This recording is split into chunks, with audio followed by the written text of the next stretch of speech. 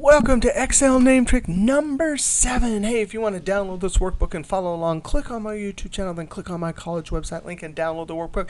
Excel name series 1 to 12. Hey, trick number seven. This is probably my favorite name trick ever. It's totally amazing.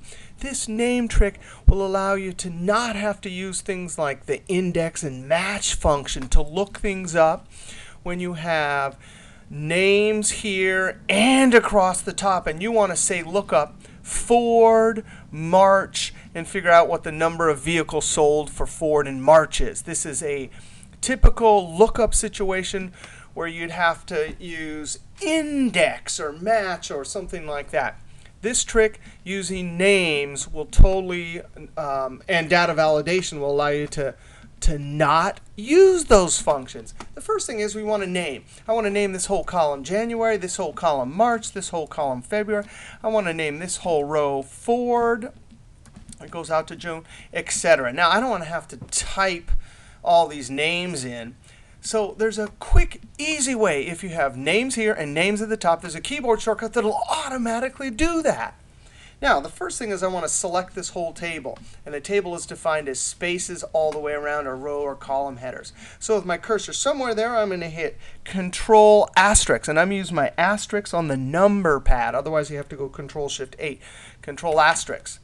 Now, the keyboard shortcut to create these names automatically, which is uh, create names from selection, is Control Shift F3. And look at that. It's applied. It says, what are there names in the top row? Are there names in the left row? Yes, there are. Click OK. Now, how do we know that those names? Well, highlight right here. What does it say up there? January. What does it say right there? February. If I highlight this whole column here, oh, no way, that's the Honda. Now, let's go look at all the names. The keyboard shortcut to go to Name Manager, or in earlier versions, it's Define Names. Is the keyboard shortcut works in both ver in all versions, back to at least 99. Control F3. Oh, there's the Name Manager. And look, April, um, Chevy. I have lot. we have lots of other names because we've been working on names for a while. February, Ford. Unbelievable. Look at all those names. I'm going to click Close.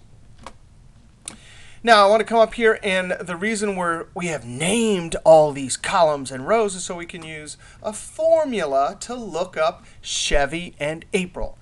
Equals C H E Oh, look at that. It even knows that there's a name there.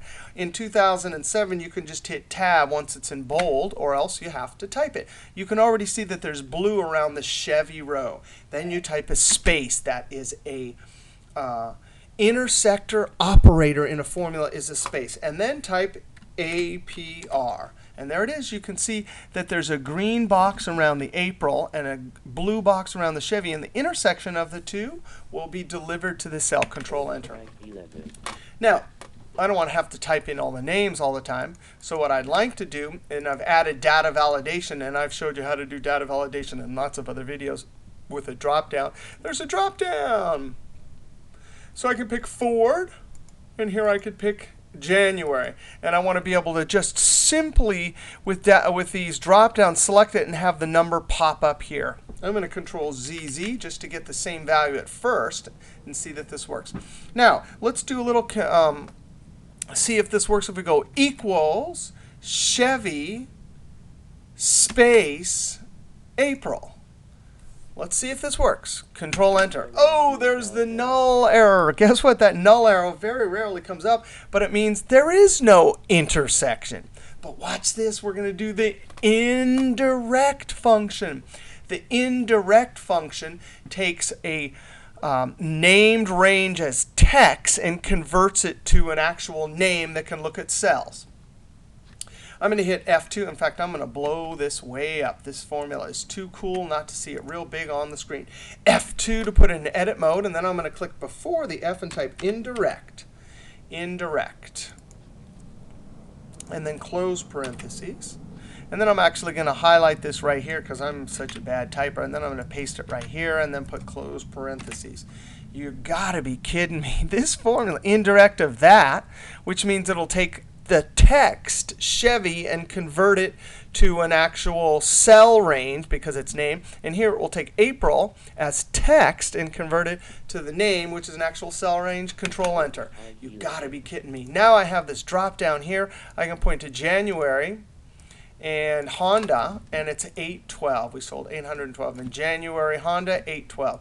That is one of my favorite tricks ever with the indirect and names and knowing how to name quickly with Control Shift F3. All right, we'll see you next name trick.